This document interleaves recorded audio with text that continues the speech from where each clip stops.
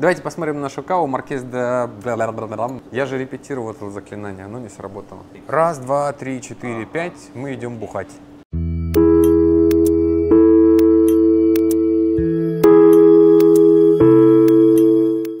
Привет, дорогие друзья, с вами Сева Самиле на канале Jigger Drink. Продолжаем наши веселые обзоры. На этот раз а, мне стало интересно, может быть ли кава а, и при каких условиях недорогой, как в нашем случае это у нас кава Маркес де Ларес от Марк, а, Лопес Маранес. И она стоит всего 500 рублей, ребят. И стало мне интересно, при каких условиях можно покупать такую каву и э, будет ли она хорошая. Ну, начнем э, с очень простых вещей.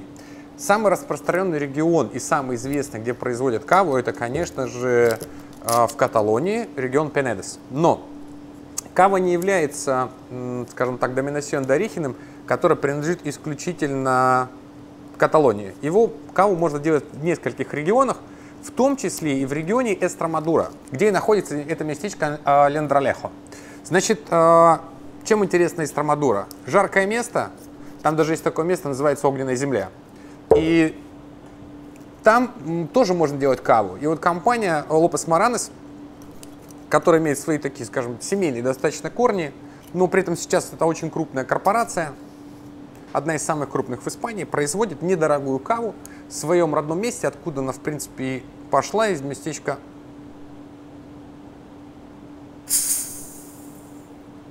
из региона Бадехас.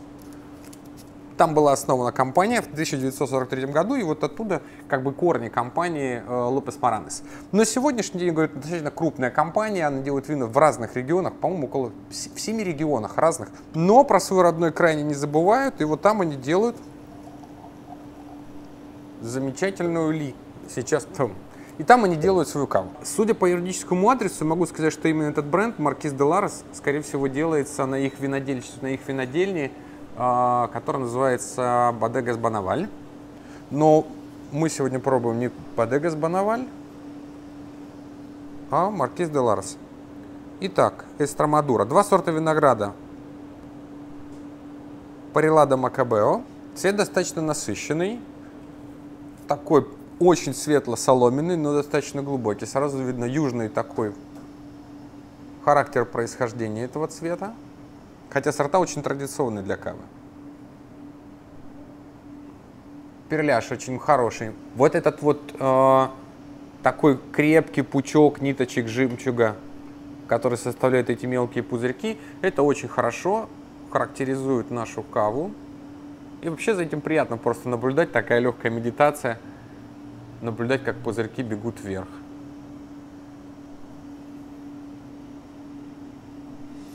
Нос очень интересный. Он не похож на каву из Пенедеса или из Риохи. В нем нет такой вот приятной зеленой свежести. В нем какая-то больше фруктовость, что ли. Даже трудно выделить какие-то спелые желтые яблоки, чуть-чуть, может быть, косточковый характер персика. Что-то отдаленно миндальное, но не такое ярко выразительное, не кондитерское, а вот прям что-то такое кремово-миндальное. Есть небольшие нюансы тостовых оттенков, что, в принципе, тоже характерно для вин, которые делаются путем вторичного брожения в бутылке и выдержки на осадке. К сожалению, я не смог найти никакой информации о том, сколько месяцев выдерживалось вино на осадке, но думаю, что ну, какой-то традиционный минимальный срок, около 12 месяцев, вино, судя по ароматике, проходило ферментацию и выдержку на осадке. Класс. Но я точно знаю, что предварительно вино, которое делается, которое используется для кюве, для будущего игристого вина, не используется дуб, только нержавеющая сталь, ферментация и выдержка. Класс. Пахнет хорошо, ярко, но не сложно. Давайте попробуем, узнаем, что нас ждет.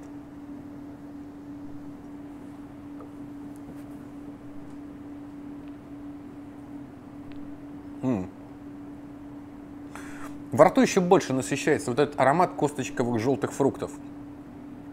А, миндальности нет, ну, ребят, ну вот яблоки, вот косточка яблоки, косточка груши. Настойчивее становится жареный тост, такой вот прям поджаренный-поджаренный. И вот прям что-то хочется такого же вот э, какой-то, знаете, как топленое масло, что ли, какое-то во рту, такое слегка жженое. Но очень приятный, кондитерский, насыщенный. Значительное отличие от кавы того же знаменитого региона Пенедес, потому что здесь нет этой свежести. Есть яркость, насыщенность, но кислотность заметно ниже. Давайте проверим еще кое-что. Ну, достаточно все хорошо. Розлив достаточно молодой. Вино сделано, розлито, точнее, э, в данном случае, когда мы говорим про вино, которое сделано путем вторичного брожения в бутылке, дата розлива, наверное, не совсем правильная. Очень важно, когда мы говорим о брют натюр, что здесь нет э, дозажного ликера. То есть вино после ремюажа не добавляли сироп на основе вина для того, чтобы создать нужный уровень сахаристости в вине. Что немаловажно, здесь сейчас это очень модный стиль, non-sugar. Вот в данном случае брют натюр это именно и подразумевает. Как ни странно, я думал, что содержание алкоголя будет достаточно ощутимо, и оно будет высоко, но здесь его всего 11,5, и это чувствуется и в аромате, вино достаточно мягкое. Кава за 500 рублей. Плюсы и минусы, и до чего можно докопаться, а к чему можно и не придираться. Сложно придраться к вину, который стоит 500 рублей и путем вторичной ферментации в бутылке, то есть традиционным способом. Это раз. А, ароматика есть, и ароматика не, не пустоватая, но не сложная. Опять же, когда ты думаешь 500 рублей, ну, в принципе, неплохо, для 500 рублей очень неплохо. Единственный нюанс, который смущает, это отсутствие нужной такой вот привычной свежести в каве. Не хватает немножко цветочности. Если она здесь есть, то она такая достаточно агрессивная цветочность. Знаете, вот как также агрессивно пахнет, например, э, какие-нибудь лилии, или акации, ну такой достаточно агрессивный, или как цветет черемуха очень таким агрессивным запахом. Я не про то, что вино пахнет этими ароматами, а вот степень агрессивности. Но вот фруктовость очень насыщенная.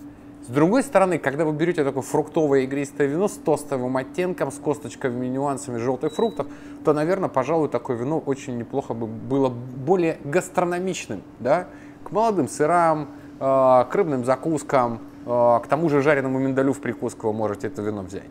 Более свежие варианты кавы, на мой взгляд, ну, более интересные. Ну и стоят они вдвое, а то и втрое дороже. Надо бы поставить оценку и сделать резюме, можно ли покупать каву за 500 рублей и при каких условиях. Первое условие, если вы хотите купить каву за 500 рублей, ну, наверное, это будет кава не из Пенедеса, а из какого-нибудь другого региона. Это может быть Риоха, это может быть Аликанте, это может быть Эстрамадура. В этих регионах вина этого типа стоит гораздо дешевле, чем из Пенедеса.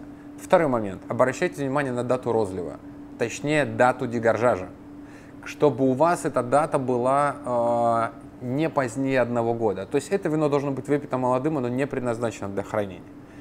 Вот соблюдая эти условия, вы сможете найти хорошую каву за 500 рублей. Если вы вдруг увидите каву из Пенедеса, тем более очень хорошего производителя, по какой-то ну совсем нереальной цене, посмотрите дату дегоржажа. Если будет она там 3-4 года, тогда понятно, почему такая цена. От товара пытаются просто избавиться. Поэтому, э, да, можно экспериментировать, пить можно, но дальше выбор за вами. Нехватка свежести компенсируется более тяжелым фруктовым косточковым вкусом, который более гастрономичный и более гибкий, но при этом не имеет сложного, но при этом не плоский аромат. Хороший перляж, хорошие тостовые нюансы. Но в целом, говорю, придраться не к чему. А, вот по вкусу и аромату. Да, после вкусия чуть-чуть короткое. Ну, ребят, когда я все эти вот критику, критику сам себе наговариваю, наговариваю, потом думаю, блин, 500 рублей.